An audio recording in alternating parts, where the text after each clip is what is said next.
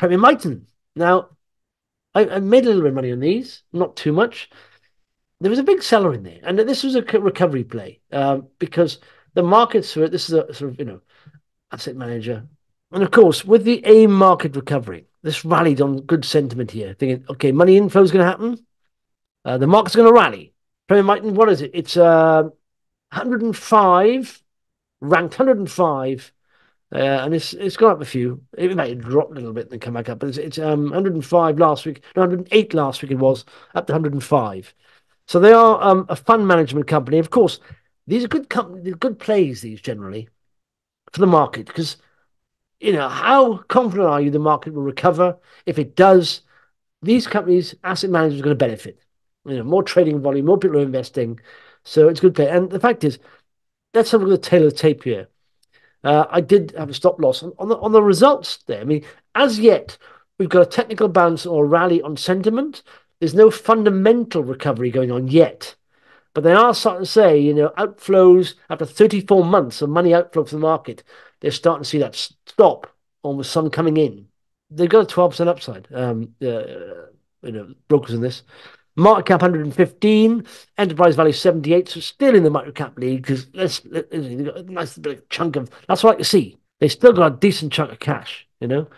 Net asset per share 78, so it's above that, the actual share price.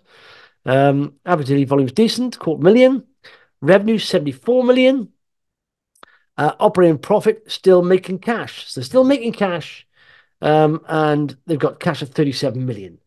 This to me is a safe play. I don't know why. I, I may have moved my stop loss a, bit. I was in profit here. I may have just kept it, you know, risk free investment. I did move up to 10% profit, my stop loss. It dropped 20% on results, no, not on results, but the days coming up the results and took me out. That's fine. I may want to revisit, uh, but it may rally away before that happens. Uh, no debt. I like to see that. There's a lot of green there. Uh, the only problem is the upside here, but of course that will change. You know, as money inflow happens, I think they'll be uh, uh upgraded. Uh, so it's all good. Free cash flow uh, of seven million. Said, what we've got here is, is no growth. Of course, the market's been suffering. Uh, so we've got all. Let's look at the total scores. Look at that. Everything else here, pretty much value, momentum is okay, apart from growth. Now, this is, like I said, talk about recovery plays. It's got two of the others here already. So all it's waiting for, I think, you know, it's got momentum in, you know, looking forward to growth coming back. Health's good, vision's good. Brokers don't give it a big upside yet, but I said that can be upgraded. So, and I, I said, you know, 8% dividend. So, you know, if you don't go too big and you're not worried about volatility, you're picking up a nice 8% dividend as you're waiting. And I think I was a bit too keen on my stop loss there, even though I, you know, checked out at a small profit. Maybe I, I should have, you know, held it down a bit. Uh, but anyway, I'll revisit maybe. Uh, so it's all good on the screen. Um, gross margin 89, operating margin 7.6. Uh, I hope that will improve. Momentum's all there. Like I said, don't worry, broker targets can change. What's fact is figures, okay? Um, and in fact, real time sort of money supply is is, is the momentum. Uh, value is fact as well.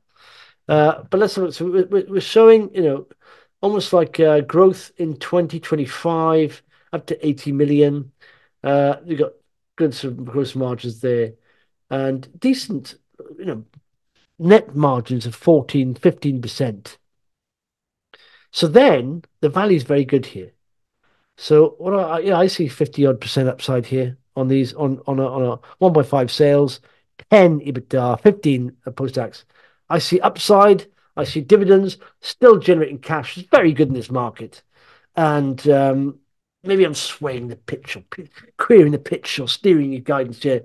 But I'm saying it's you know you, you have your have your say. Have your say. Let's look at the chart here uh, because, uh, like I said, it did come back a bit, and for some reason, before results, I said last time I bought it was here.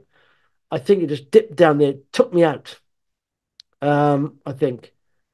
Uh, what's what's what's interesting now is will we see a series of higher lows, you know, or done there, we see it breaking that sort of uh, you know uh, uh, lower highs. I mean, almost here breaking that or just going sideways.